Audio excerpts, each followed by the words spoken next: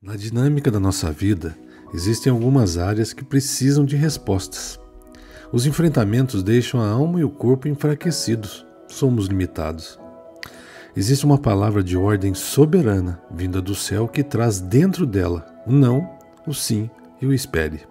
Gosto de escrever cartinhas para Deus. Conforme as respostas vão chegando, vou anotando as datas para não esquecer o que ele respondeu. Isso me ajuda a trazer à memória o que me dá esperança Lamentações 3:21. É curioso pensar quantas pessoas no mundo inteiro oram simultaneamente, esperando a resposta de Deus.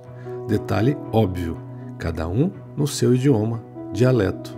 Enfim, me ocorreu agora. Pense comigo no caso do enorme alfabeto Khmer do Camboja e a China, que é plurilinguística. Além do mandarim, tem muitos, muitos outros idiomas e dialetos. Só mesmo Deus, com seu super, hiper, ultra, mega, master, power, tradutor simultâneo, para codificar e decodificar todos. Ah, conversar com Deus é mesmo uma experiência incrível.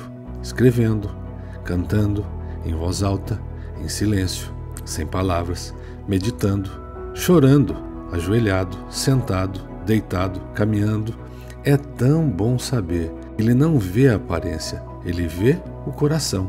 1 Samuel 16:7. Na PIB de Curitiba, muitos estão escrevendo bilhetinhos e colocando no altar.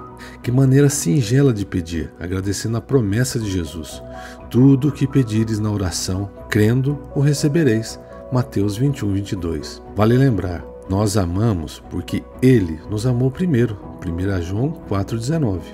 Sendo assim, no final da minha cartinha, escrevia em Hangul, isso mesmo, o idioma dos belos doramas, Hananin Saranye.